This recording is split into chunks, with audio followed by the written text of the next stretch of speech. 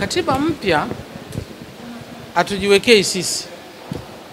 Katiba mpya wanayeamua ni Watanzania.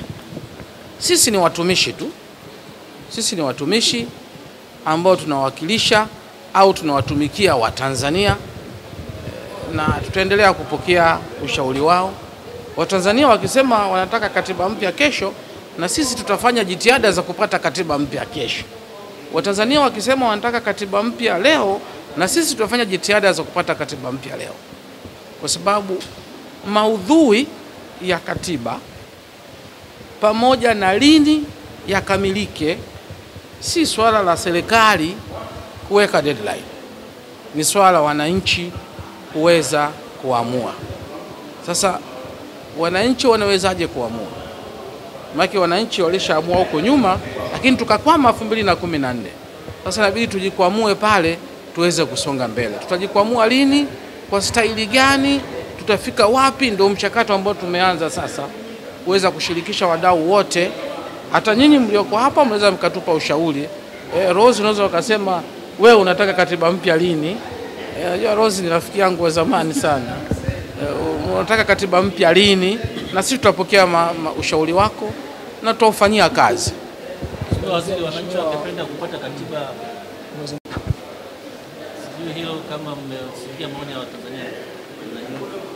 Hayo ni maoni tumeyasikia, lakini kuambia hivi, tusifanye kosa la kudhani kwamba katiba inahusiana na kakipengele kidogo sana ambako unakaita uchaguzi. Hilo ni kosa.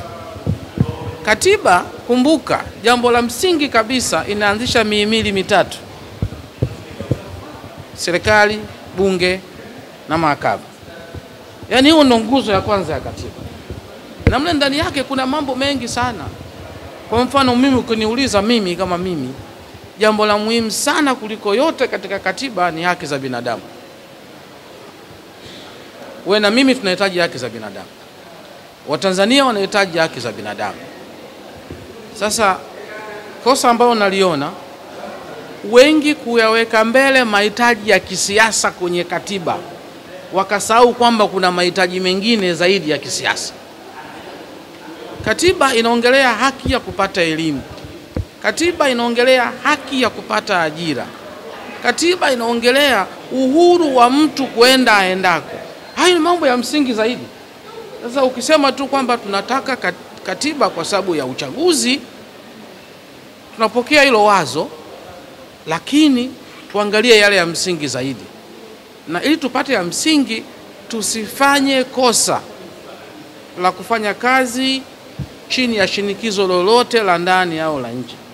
Tufanye, tuandae katiba mpya kwa mahitaji halisi ya Watanzania, kwa mahitaji ya Mtanzania aliyoko Lisaboni kule Songea, mwingine ambaye hata kupiga kura kwenye apigi.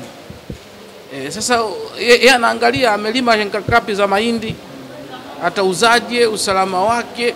Kwa hiyo tusichukue mawazo ya kundi moja tukadhani ndiyo mahitaji ya katiba. Tuchukue mawazo na maoni ya makundi yote. Hilo nalosimamia la uchaguzi tumelipokea na tunaendelea kupokea mengine, ili tuweke kwenye mzani, afu tujue sasa tunafika vipi.